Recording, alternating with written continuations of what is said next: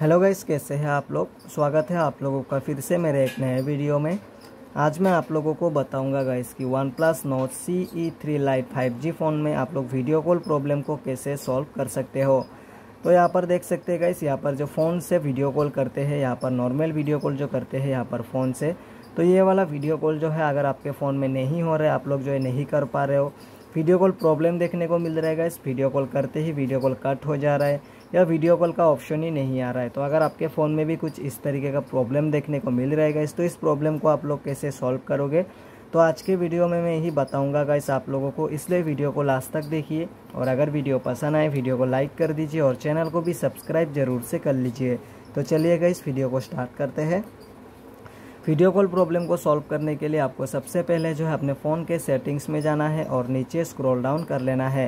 नीचे आप लोगों को एक ऐप्स का ऑप्शन देखने को मिलेगा। ऐप्स के ऑप्शन पे क्लिक कीजिए। क्लिक करने के बाद ऐप मैनेजमेंट का एक ऑप्शन होगा गाइज़ इस पर क्लिक कर दीजिए। और यहाँ पर से आप लोगों को फ़ोन के एप्लीकेशन को ढूंढ लेना है गाइज़ जिससे आप लोग वीडियो कॉल या कॉल करते हो। तो देख सकते ये रहा फ़ोन का एप्लीकेशन तो इस पर क्लिक कीजिए।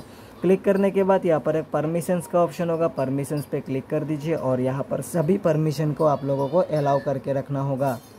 देख सकते हैं, बहुत सारे परमिशन है गाइस अलाउ करने के लिए आप लोगों को सिंपली परमिशन पे क्लिक करना है। डोंट अलाउ पे सेट होगा। अलाउ ओनली पे क्लिक कीजिए और बैक कर दीजिए।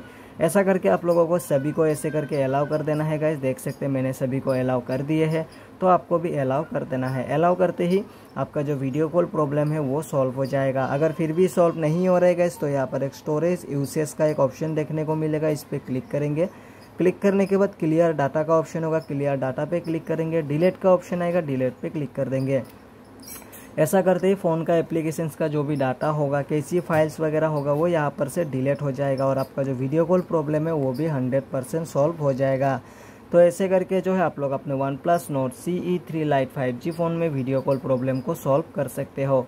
तो कैसा लगा आप लोगों को ये वीडियो अगर वीडियो पसंद आया हो तो वीडियो को लाइक कर दीजिए और चैनल को भी सब्सक्राइब ज़रूर से कर लीजिए।